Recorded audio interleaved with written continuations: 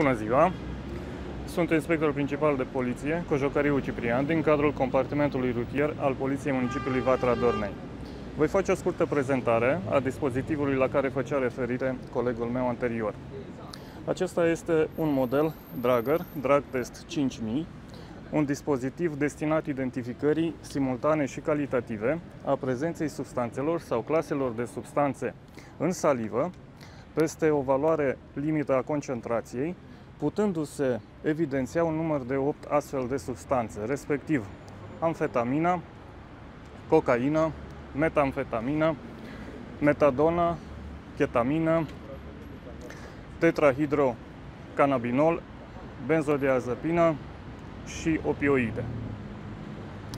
Dispozitivul furnizează rezultate analitice preliminare asemănătoare unei probe de screening, rezultând astfel o valoare certă. Avantajele dispozitivului le reprezintă funcția integrată de autotestare. Practic, dispozitivul rulează verificarea parametrilor de funcționare înainte de fiecare analiză și faptul că rezultatele analitice preliminare au o concordanță ridicată cu cele ale probelor biologice. Dispozitivul în sine are o greutate redusă de 4,5 kg și o geantă de transport adecvată. Este, are o memorie internă care permite uh, memorarea ultimelor 500 de măsurători efectuate. Uh, beneficiază de o imprimantă mobilă. Practic, uh, imprimarea rezultatului se face la fața locului. De asemenea, este dotat cu o tastatură care permite introducerea majorității datelor de stare civilă ale persoanei testate, precum și locul și motivul efectuării testului. Este dotat cu o încărcătoare pentru auto, o priză de 12 V și de asemenea avem uh, un locaș unde ținem uh, kiturile de testare. Cum se face efectiv testarea, dacă ne spuneți în, pe scurt? Păi, acum, dacă vreți, vă și prezint. Se efectuează pornirea aparatului.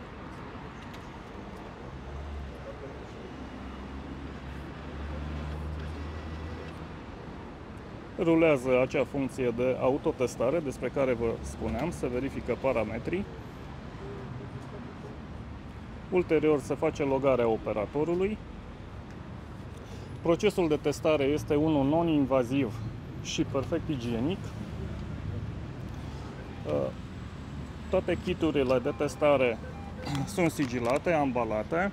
Uh, sunt uh, pe ele prevăzute date cu privire la expirarea, valabilitatea kitului și practic acele valori limită pentru fiecare din cele 8 substanțe peste care reactivii reacționează.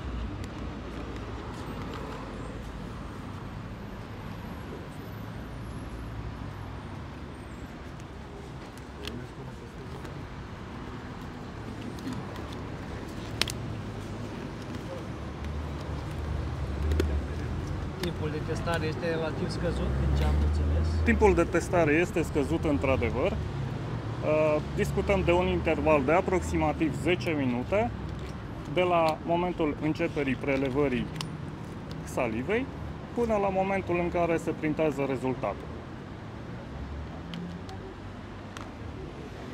Se pornește funcția de măsurare.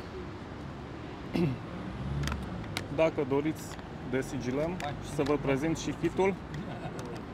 Deci, desigilarea se face în prezența persoanei testate, care de asemenea verifică integritatea kitului.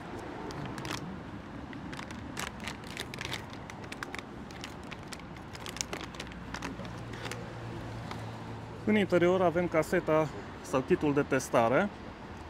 Avem o casetă care cuprinde cele 8 benzi curb diferiți reactivi avem un uh, capac de sigilare a probei și un capac de protecție a probei.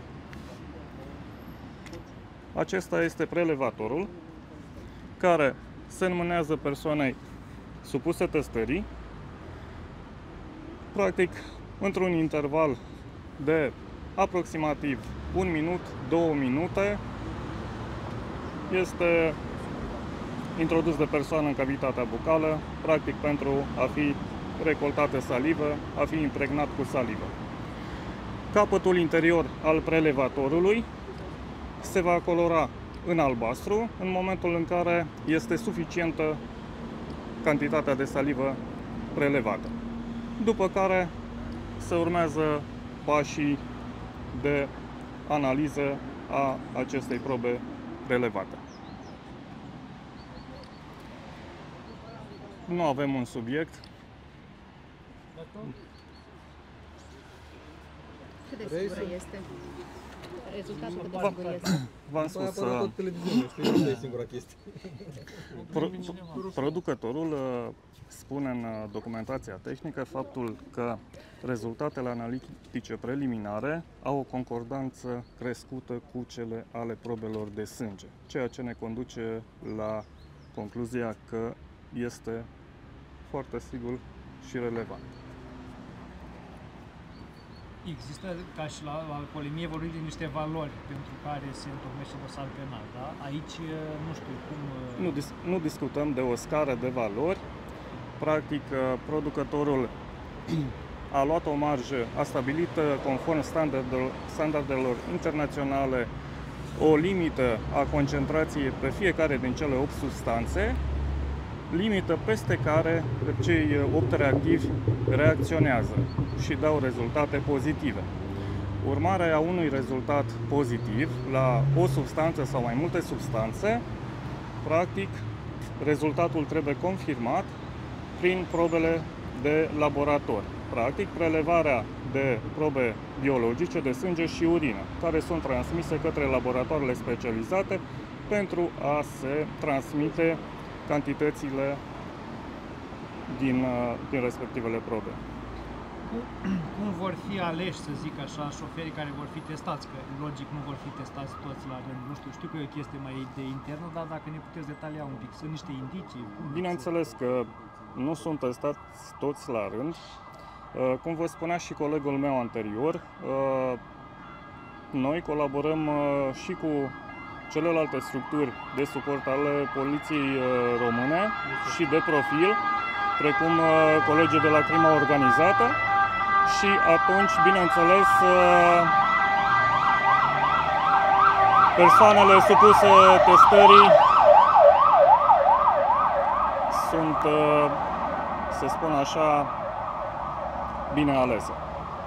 Doar Bineînțeles, tot timpul se are în vedere și comportamentul conducătorului auto, care, de asemenea, poate fi un indiciu cu privire la starea sau substanțele pe care le-ar fi consumat.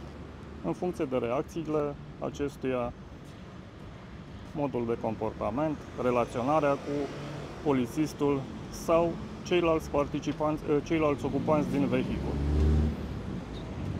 Doar șoferii, nu și persoanele care provoacă scandal pe stradă sau pot fi testate și ele? Uh, Noi îl utilizăm în desfășurarea activităților specifice pe linie de poliție rutieră. Răspunderea penală este aceeași, bănuiesc, dar să spunem un pic și pentru cei ca și la consumul de alcool. Uh, Legiuitorul a prevăzut acest aspect și l-a reglementat prin articolul 336 aliniatul 2 și a stabilit practic aceeași pedeapsă cu închisoarea de la 1 la 5 ani sau amendă. Cine sunt? Câte astfel de teste ați făcut la Vatra Dornei? Spuneați că le aveți o... Uh, Până în prezent am efectuat un număr de 9 astfel de teste cu rezultat negativ. toate negative. Toate negative. Adică anul ăsta. Poftim? Pe anul ăsta, an, anul ăsta sau când până Anul, anul curent. Anul. Îl avem în dotare de la începutul lunii octombrie a anului curent.